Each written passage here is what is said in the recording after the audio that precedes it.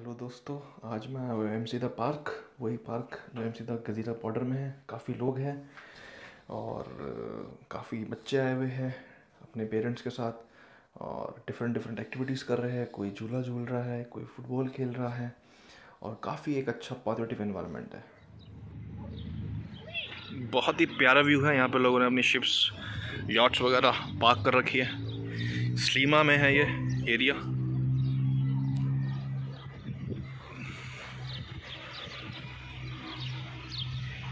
काफ़ी फॉरनर्स रहते हैं यहाँ पे स्लीमा में।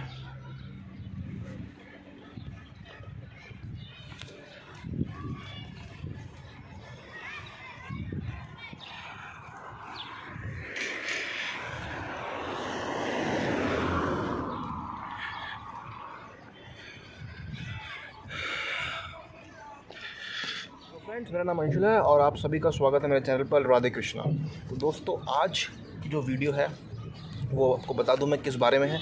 वो वीडियो है कि माल्टा में किन किन फ़ील्ड की जो है आपको बताऊँ मैं कि रिक्वायरमेंट है, सबसे ज़्यादा जॉब अपॉर्चुनिटीज़ किसमें है। तो वो मैं आज आपको बताऊँगा किन किन फील्ड्स में है। और इवन साथ में आपको मैं सैलरी का भी एक जो है, एक आइडिया दूँ रफ आइडिया तो प्लीज़ इस वीडियो को मिस मत करना और ज़्यादा लंबी वीडियो नहीं होगी सात आठ मिनट की होगी ज़्यादा से ज़्यादा या दस मिनट की मैक्सिमम तो स्किप मत कीजिए एंड तक वीडियो देखिए। तो अभी मैं स्टार्ट करता हूँ। सबसे जो सबसे ज़्यादा जो रिक्वायरमेंट मुझे लगती है एज़ पर माई एक्सपीरियंस वो है आपकी हॉस्पिटलिटी सेक्टर में। हॉस्पिटलिटी सेक्टर में आप ये मान के चलिए सबसे पहले जो है शेफ़ शेफ़ की बहुत ज़्यादा रिक्वायरमेंट है।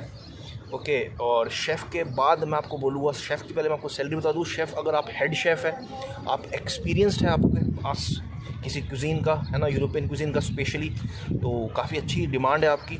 और आप ये मान के चलिए, अगर आपके पास तीन से चार साल का एक्सपीरियंस है, और आप किसी दूसरी कंट्री में कर चुके हैं job like international like Singapore में या किसी दूसरी कंट्री में दुबई में यू में मतलब तो आपको आप मान के चलिए, तकरीबन तकरीबन जो है, आप ग्यारह, दस से ग्यारह यूरो आप आराम से पर आवर कमा सकते हैं।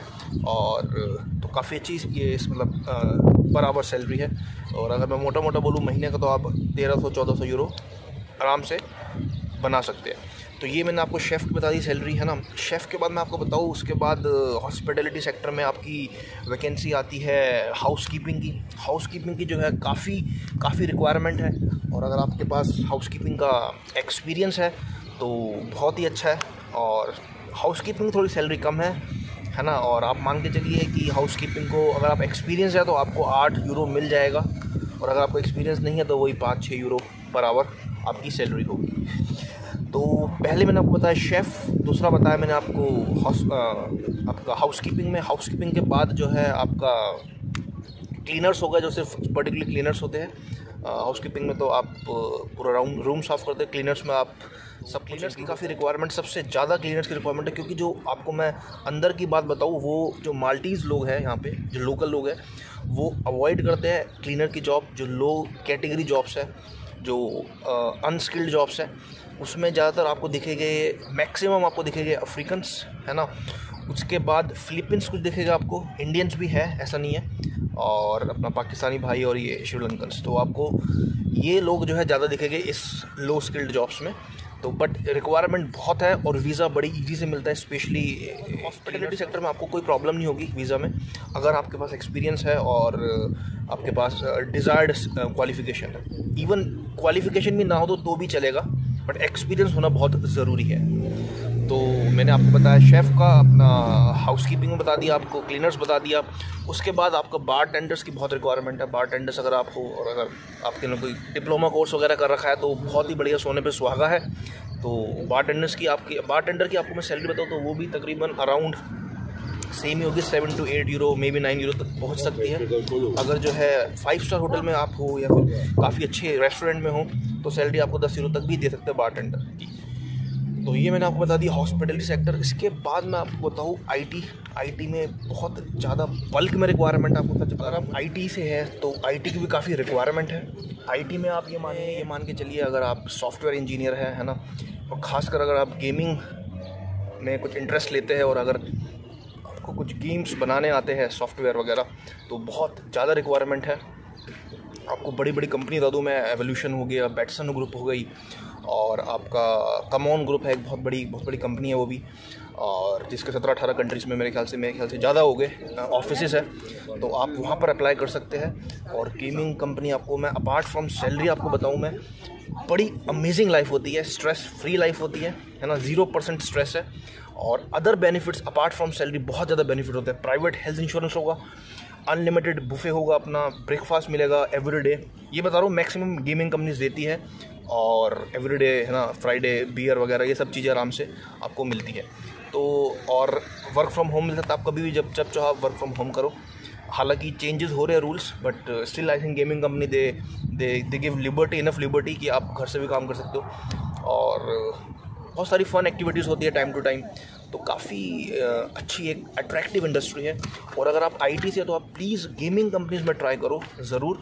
और इवन अगर आपके पास जो है इंग्लिश स्पीकिंग अच्छा आप इंग्लिश अच्छा बोलते हो, या इवन कोई स्पेसिफिक यूरोपियन लैंग्वेज अगर आपको आती है तो प्लीज़ मेरी बात को ध्यान से सुनिए गेमिंग कंपनी में अप्लाई कीजिए। सैलरी भी अच्छी है अदर बेनिफिट्स भी अच्छे हैं, और सबसे ज़्यादा जो है वर्क वीज़ा जो मिलता है मतलब अगर देखा जाए तो वो गेमिंग कंपनीज़ सबसे ज़्यादा प्रोवाइड कराती है नॉन यू अपार्ट फ्रॉम है ना हॉस्पिटलिटी जो सेक्टर्स की कंपनीज़ है, वो भी।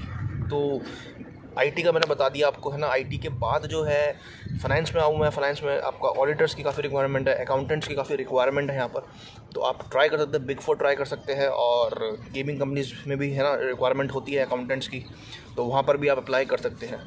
सैलरी आपको बताऊँ मैं, अगर आईटी की तो आईटी की सैलरी आप ये मान के चलो, अगर डिपेंड करता है, अगर आपके पास चार पाँच साल का एक्सपीरियंस है आईटी में, और गेमिंग कंपनी में अगर जा रहे हो आप तो थर्टी के आपको आराम से मिल जाएगी।